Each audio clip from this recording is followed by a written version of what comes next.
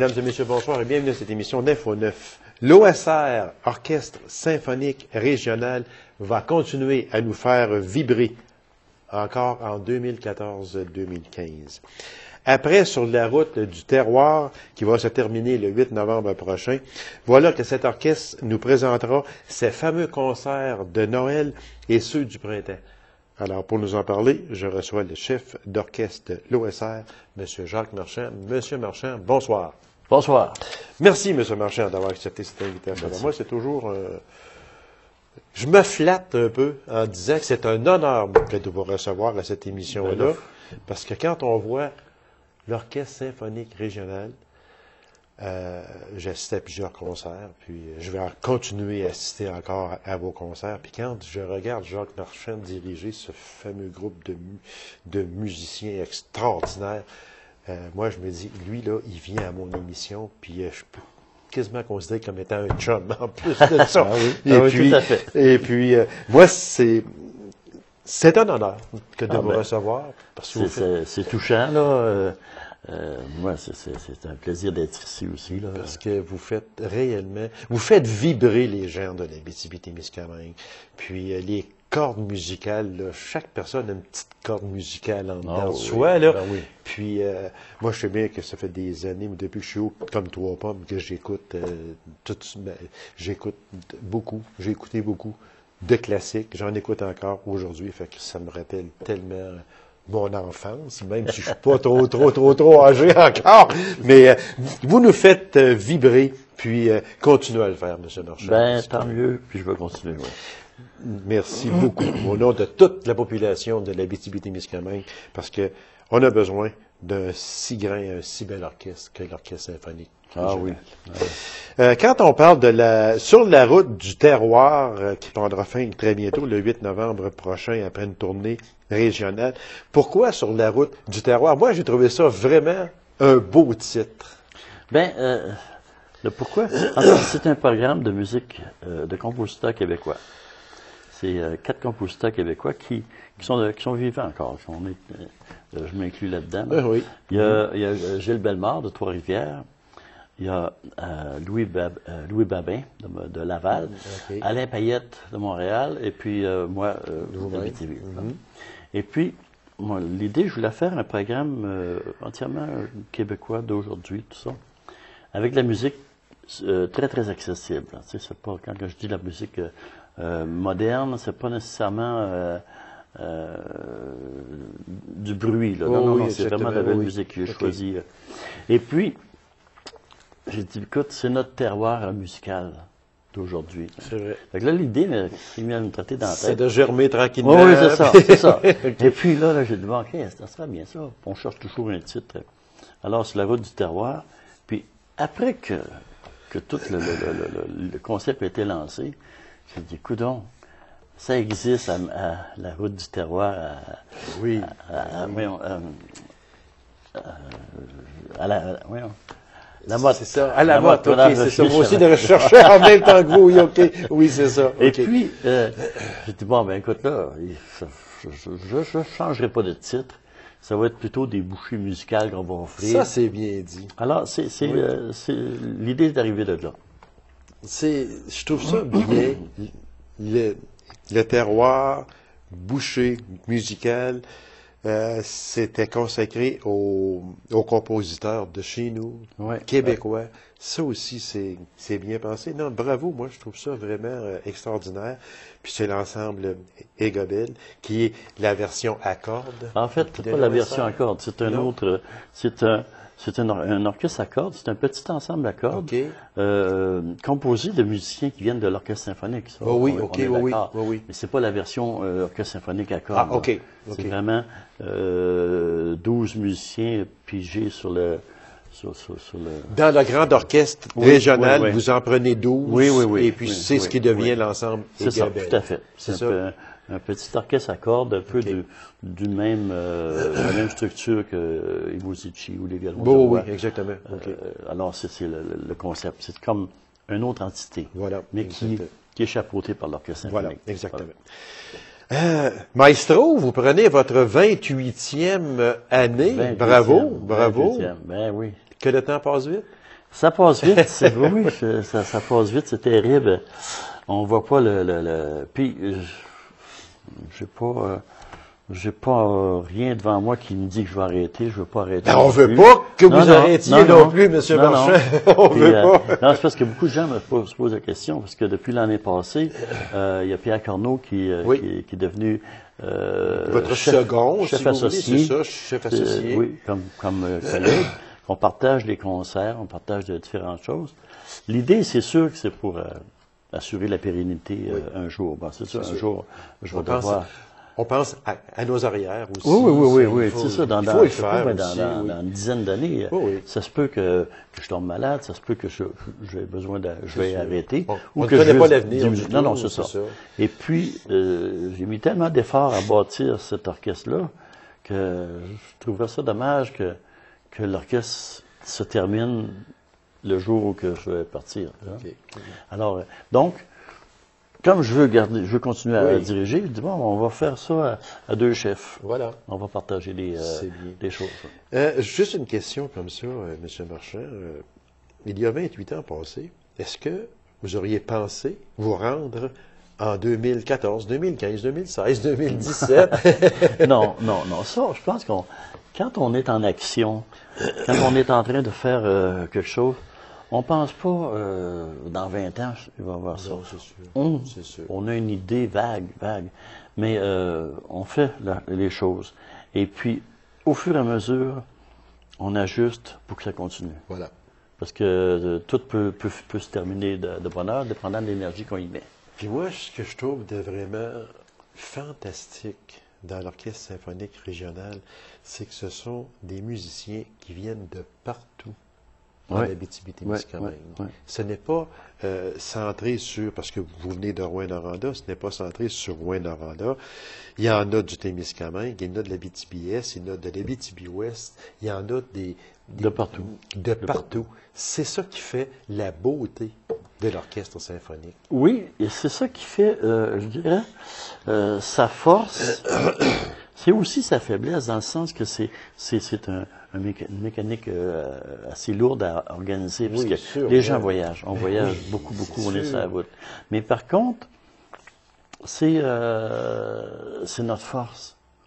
On se retrouve avec un, un type d'orchestre qu'on trouve nulle part au Québec. C'est vraiment unique. Euh, des musiciens qui viennent de partout, qui se réunissent euh, pour faire de la musique, pour faire arriver à faire bâtir un, orchestre, faire de la musique symphonique. Il faut le faire. Il faut le faire, certain. oui, il faut le faire, parce qu'il y a des gens qui partent du Témiscamingue. Ben, les gens, les, gens voyagent partout. puis- oui, oui. Puis, tu sais, on, a- on voyage énormément, là, tu sais. Voilà.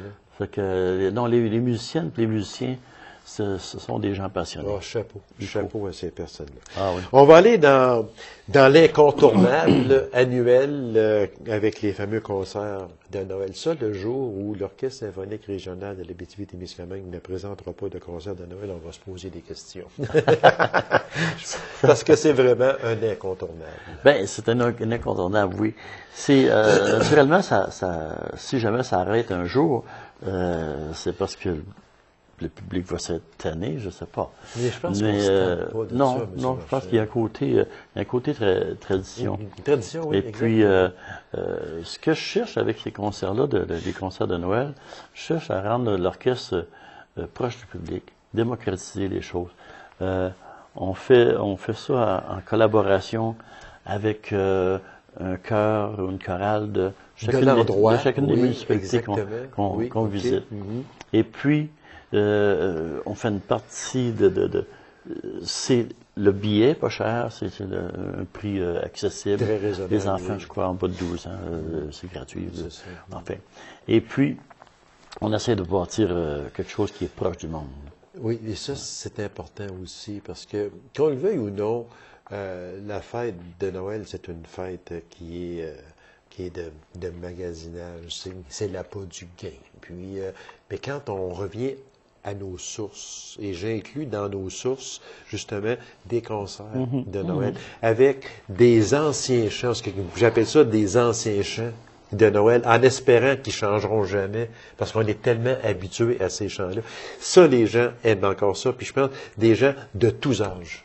Ah oui, oui. Oh oui, ça, ça touche. euh, Puis les, nos concerts sont vraiment tôt, sont début décembre. Oui, c'est ça, début fin décembre. novembre, début décembre. Exactement. Ça, ça dépend des, oui. parce qu'on on fait ça les fins de semaine. Oui. Et euh, on donne le coup d'envoi de la période des fêtes. Voilà. Ça, j'ai constaté ça. Exactement, oui, c'est vrai, parce que, familles. parce que les concerts débutent le 29 novembre. Ils sont, ils sont tous à 16 heures. Oui, en plus oui, de ça. Alors, euh, vous commencez à Rouen-Noranda, euh, à l'église Immaculée Conception. Après ça, c'est à la Sarre, l'église Saint-André. Amos, église euh, Christ-Roi, c'est le 6 de décembre. 7 décembre, Val-d'Or, l'église Saint-Sauveur. Et le 14 de décembre, à Malartic, euh, église Saint-Martin. Euh, ces concerts sont tous à 16 heures. On n'a pas les prix d'entrée, mais c'est quand même euh, minime. Euh, c'est accessible euh, à tout le monde. Donc, et, et j'aime euh, ce que vous dites, c'est la porte d'entrée des fêtes. Ah oui, c'est la porte d'entrée des fêtes. Les gens vont là. C'est un concert familial. Oui. On va avec le grand-papa, grand-maman, les enfants, euh, le- mon oncle, ma tante. Et euh, c'est un concert qui dure une heure. C'est, c'est pas long. Puis cette année, j'ai une nouveauté que j'ai. Ben oui, j'ai ça ici. là. Ben oui, allez-y, je vous laisse. Oui, allez-y. Non, non, non, allez-y. Allez-y. Ben, on essaie toujours de, de, de, de, De faire quelques de faire nouveautés. quelques nouveautés, c'est ça, ouais, oui. Et puis, on fait un conte de Noël avec Guillaume Bouilly. Voilà, oui. Guillaume euh, a un conte qui s'appelle Un Noël é- éclairant de 1954. Puis on connaît Guillaume. On Ah oui, oui. C'est- il- va vie- le mener à bon port Ah oui, oui, c'est l'arrivée de l'électricité dans un village, Voilà. quelque part au Témiscamingue. ça. Et puis le conte est intercalé de chants euh, de, de cantiques de Noël qui, qui sera interprété par les différentes chorales de- de- qu'on visite dans la région. Je crois que ça va faire un beau concert. Ben euh, oui, je comprends, c'est Magnifique. sûr. Oui, oui. Puis, euh, euh, il y aurait aussi euh, une nouveauté, gagnante du concours euh, de concerto OSR 2014, Alexis Gingras, jeune pianiste d'Amos, qui sera le, le soliste invité? Oui, en fait, c'est pas une nouveauté. Non? Euh, à chaque année, depuis, euh, je dirais, ça fait tout de même 6-7 ans dans ce coin-là, euh, j'organise, euh, l'orchestre organise un concours de concerto pour les jeunes de la région. Oui, OK. OK? OK. On fait ça euh, en collaboration avec euh, le centre musical en, en sol mineur qui a un, déjà un concours et on se greffe là-dedans. Et le, le prix du gagnant ou de la gagnante, c'est la, de, la possibilité de, de faire une tournée avec nous autres. Et le concert de Noël, c'est le, con- le concert idéal pour euh, présenter Pour présenter les jeunes talents. C'est que euh, il, est intégré dans le concert. Voilà. Ouais, fait ouais. qu'il y aura euh, ce monsieur Oui, Alexis, Gingras, oui, jeune oui. pianiste d'Amos, puis euh, n'oubliez pas, il y aura aussi euh, notre bon ami Guillaume Beaulieu, conteur, qui va venir nous parler de Un Noël éclairant de 1954. Monsieur Marchand, merci infiniment, c'est tout le temps que nous avions. Euh, on va se revoir au printemps, parce qu'au printemps, vous avez justement les fameux concerts du printemps à partir du 16 avril, encore là, c'est Rouen-Noranda, Amos, Lassar et Val-d'Or. Alors, on va vous inviter à venir nous en parler de ces concerts du Ça va me faire très plaisir. Ben, je vous remercie beaucoup, puis bon succès, puis s'il vous plaît, gardez toujours très vivant l'orchestre symphonique On- régional. C'est un plus pour toutes nous autres, et puis euh, il faut que ça continue tout le temps, tout le temps. Ben, merci beaucoup. C'est moi Et qui vous remercie. tout le monde. euh, Oui, on invite Ouais, les gens ouais, là, à y aller 3 novembre, 5 novembre, 6 novembre, 7 et 8 novembre, concert de Noël, Amos Lassar, Rouen-Noranda, Val-d'Or et Ville-Marie. C'est à coût minime, puis ça dure une heure, et puis c'est à 16 heures euh, dans chaque euh, église ou, euh, ou l'endroit théâtre du Cuivre, Salle Desjardins, Église du Christ-Roi, Salle Félix Leclerc et théâtre du, du Rideau. C'est pas vrai, pas en tout. C'est pas vrai. Dans les églises de la région. C'est dans les églises, c'est vrai. j- moi, j'étais rendu avec l'ensemble des Gobels. Alors, concert euh, de Noël, c'est dans les églises de Rouen-Noranda, La Sarre, Amos, Vador et Malartic. Merci beaucoup. Puis, euh, Monsieur Marchand, merci. Vous serez toujours le bienvenu à cette émission. Courte pause, on vous revient immédiatement après.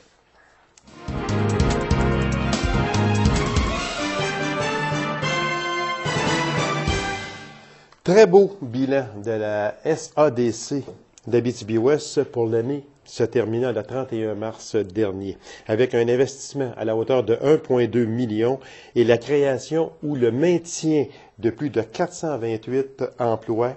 La SADC d'Abitibi-Ouest joue un rôle des plus importants dans notre région et c'est très important de le dire également. Alors, pour nous faire un bilan de ce que fut 2013-2014, je reçois avec grand plaisir personne que ça faisait longtemps qui n'était pas venu nous voir, Madame euh, Thérèse Grenier, directrice générale de la SADC de BTP-Ouest. Madame Grenier, bonsoir. Ça nous fait grand plaisir d'ailleurs. Bonsoir à vous aussi. Oui, oui. c'est réciproque. On avait délaissé un peu le SADC. Vous pouvez me donner une petite tape si vous voulez, puis, euh, mais euh, ce n'était pas par ce n'était pas volontaire, croyez-moi. On avait un peu délaissé euh, les organismes comme ça pour donner d'autres priorités. Et on revient aussi parce que les priorités changent au cours euh, des, des, années, mais la SADC demeurera toujours une priorité pour euh, l'Abitibi-Ouest et pour l'Abitibi-Témiscamingue complètement parce que on sait que la SADC joue un rôle vraiment essentiel dans le, dans le maintien d'emploi, surtout, surtout le maintien d'emploi. C'est beau créer des emplois, c'est beau d'en donner de l'emploi, mais si c'est pour un an ou deux, après ça, ça tombe, comme on dit, à l'eau, ce n'est pas, ce n'est pas essentiel à ce moment-là. Essentiellement, c'est le maintien aussi de l'emploi.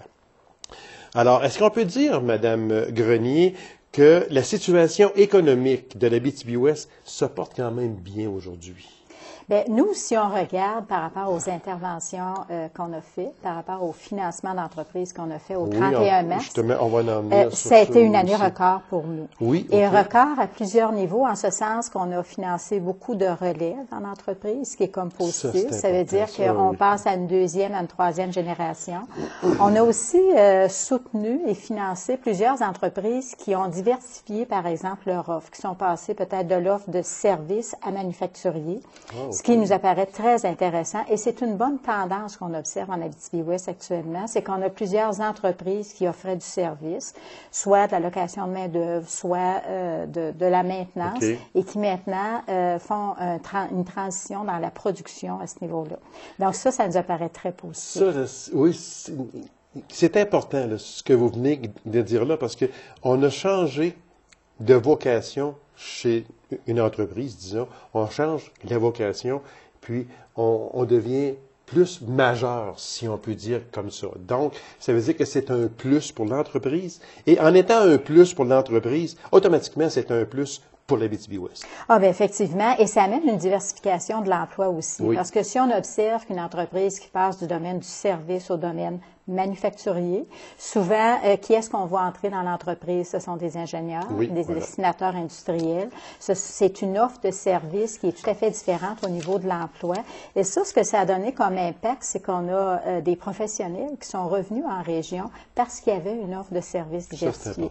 Donc ça, ça devient un plus. Et généralement, la, la manufacturation de produits s'inscrit dans l'innovation. Donc, on a des entreprises qui innovent actuellement d'une façon forte intéressante. Et on a des exemples fort connus. On peut penser, par exemple, aux chaufferies qui vont se développer à la mine casa par des entreprises de notre secteur. C'est vraiment de l'innovation qui est intéressante et de pointe au niveau des technologies aussi. 19 entreprises d'Abitibi-Ouest euh, ont bénéficié d'appui financier de la SADC, ce qui a permis de créer ou de maintenir plus de 428 emplois. Dans mon intro, j'en parlais, puis je veux que l'on revienne sur ça, Madame Grenier, parce que c'est fort important. Comme on disait tantôt, c'est beau créer de l'emploi, ça en prend, mais le maintenir, c'est là aussi que ça devient primordial. Oui, tout à fait. Et dans cette approche-là, nous, on a travaillé. D'abord, on travaille en collaboration avec d'autres partenaires financiers. Ça, faut bien se le dire. Hein. C'est un travail d'équipe à ce niveau-là. Mais nous, on a voulu se positionner beaucoup au niveau du développement d'outils d'aide à la gestion, dans une approche aussi d'innovation. C'est-à-dire qu'on a travaillé beaucoup avec les entrepreneurs euh, qui euh, sont passés du domaine du service au manufacturier, sur les coûts de revient, sur des analyses aussi plus euh, spécifiques de leur mhm. euh, production à ce niveau-là. On a tenté d'amener, puis je pense qu'il y a eu des beaux succès aussi, euh, l'aspect de l'utilisation des technologies aussi dans les entreprises. On s'aperçoit que ça, c'est des facteurs fort intéressants aussi. Donc, nous, dans la nuance qu'on a voulu porter en complémentarité de ce qui est financé, des financiers actuels, c'est qu'on a voulu beaucoup axer à cet effet-là et je pense que les entrepreneurs ont découvert aussi toute l'importance des outils de gestion, d'une rigueur dans l'analyse, d'une réflexion aussi qui peut être importante à poser pour se dire comment je me positionne par rapport à la compétition, puis comment je développe mes marchés aussi à ce niveau-là.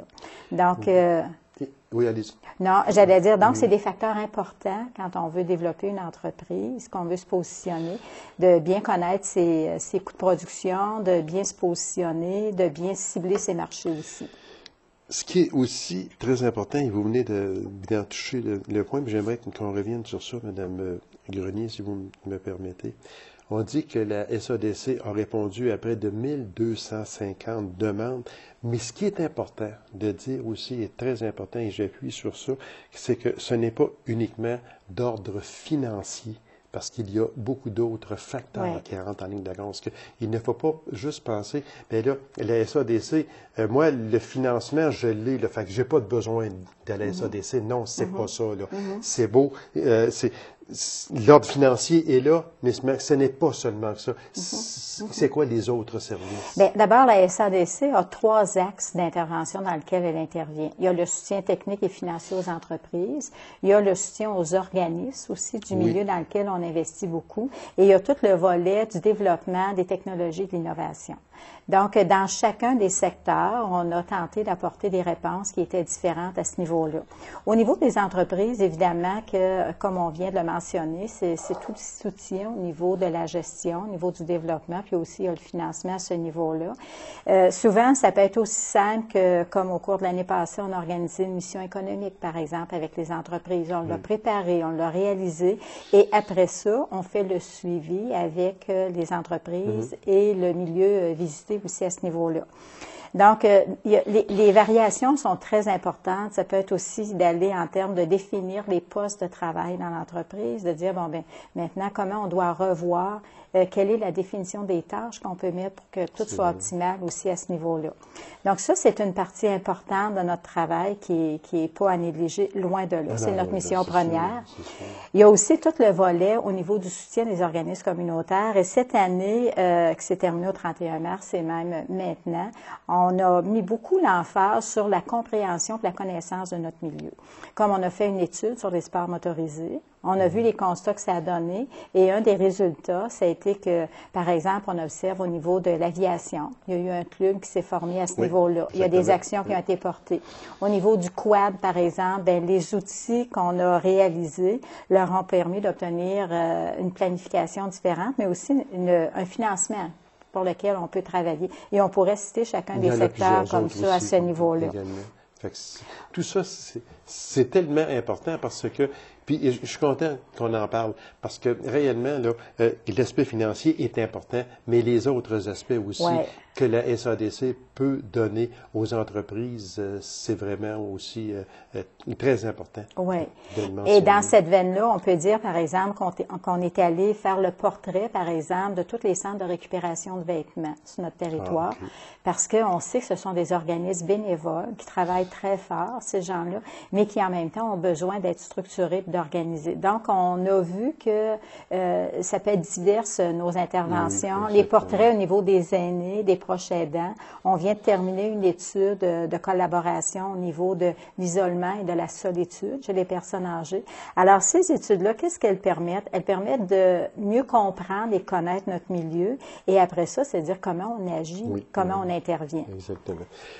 Euh, trois facteurs importants qui touche l'Abitibi-Témiscamingue et, et particulier, en particulier aussi l'Abitibi-Ouest qui nous concerne, on dit que l'agriculture se porte mieux, le prix du bœuf s'est amélioré, euh, également le prix du lait est stable, l'emploi minier est stable et le domaine forestier qui revient. Ça veut dire que ce sont des facteurs qui sont vraiment très importants pour chez nous. Bien, nous autres, la base de notre, économie est à partir de ces secteurs-là. Donc, on peut dire que ça, ça a été fort intéressant. Mm-hmm. Et on a pu voir une incidence, si on pense au niveau de l'agriculture. Nous, on a vu au cours de la dernière année, et on le voit encore, beaucoup plus de relève agricole, par exemple. C'est vrai. Fait que ça, on voit l'impact assez direct à ce niveau-là. Euh, et ça donne aussi comme euh, indication que les jeunes peuvent revenir, peuvent s'investir. Et on observe que des jeunes maintenant euh, qui reviennent de formation extérieure, soit en agronomie ou soit mhm. euh, en technique ou baccalauréat, reviennent en région. Donc, on voit qu'on améliore le niveau de compétences. On avait beaucoup d'expérience, beaucoup de vécu, mais on vient rajouter de l'innovation, ce qui est un plus pour notre domaine aussi. Puis, j'aime ça quand vous parlez de, de jeunes en particulier qui s'en vont soit étudier ou s'en vont travailler à l'extérieur, puis tout d'un coup reviennent chez nous. Ça, c'est un plus. Oui, oui. Véritablement. Puis il faut, il faut le dire aussi parce que ces jeunes-là euh, sont toujours, les portes sont toujours grandes ouvertes. Et puis quand on dit que très souvent, euh, on, a, on ne sort pas le BTB d'un jeune, c'est à l'intérieur de lui. Puis il y aura toujours des portes ouvertes pour ces personnes-là. Fait quand on en voit revenir, on se dit, ben mon Dieu, tiens.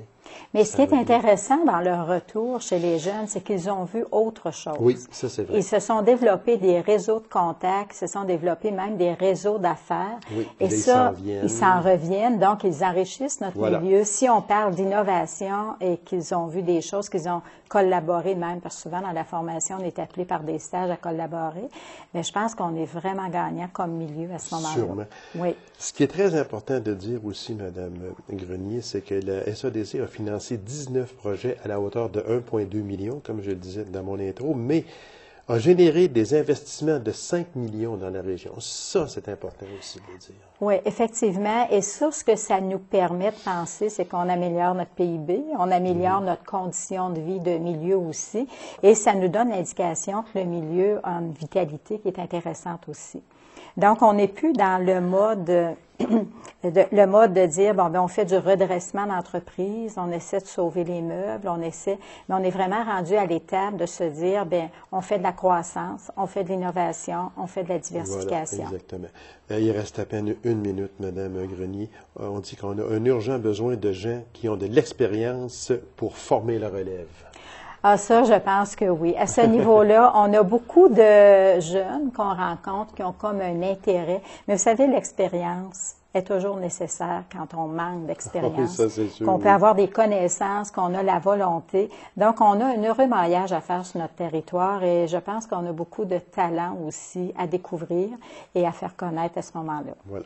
Madame Grenier, merci infiniment. Très beau bilan de la SADC et puis euh, avec toute l'équipe, continuez votre excellent travail. La BTBOS a besoin de vous autres. Bien, je pense que c'est un travail de partenariat. Voilà, hein? exactement. Travail d'équipe. Et c'est important de le dire également. Alors, merci beaucoup, Mme Grenier. C'est moi qui vous remercie. Alors, Mesdames et Messieurs, merci d'avoir été là. On se rendez-vous à une prochaine émission 9 au 9. Au revoir.